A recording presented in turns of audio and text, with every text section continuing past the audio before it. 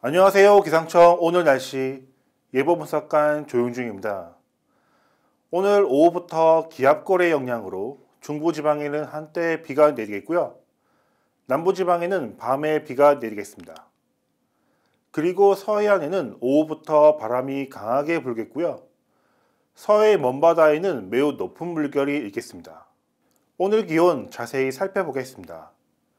오늘 아침 기온은 서울 8도, 대전 5도, 부산 13도로 2도에서 13도 분포로 출발하고요. 낮 기온은 서울 17도, 대전 20도, 부산 22도로 15도에서 22도 분포로 평년 기온과 비슷하겠습니다. 그럼 오늘 날씨 자료와 함께 자세히 살펴보겠습니다. 먼저 기압계 전망입니다. 오늘 오후부터 우리나라 북쪽을 지나는 기압골에 의해 수도권과 강원 영서 및 충청권에 한때 비가 내리겠고요.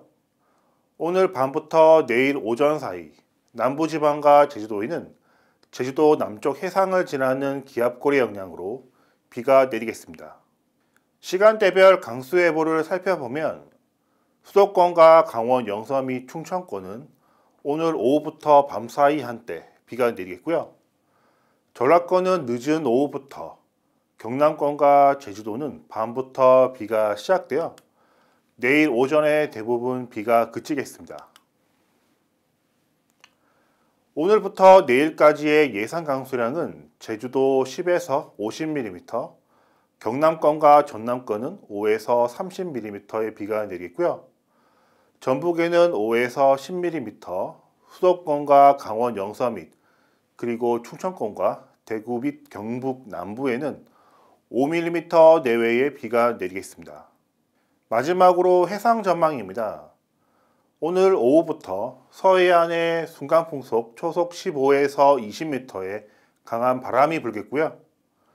서해 섬 지역에서는 강풍특보가 발표될 가능성이 있겠습니다. 그리고 서해 먼바다에는 2에서 4m의 매우 높은 물결이 일면서 풍랑특보가 발표될 가능성이 높겠으니 앞으로 발표되는 기상정보를 참고하시기 바랍니다. 지금까지 기상청 오늘 날씨였습니다.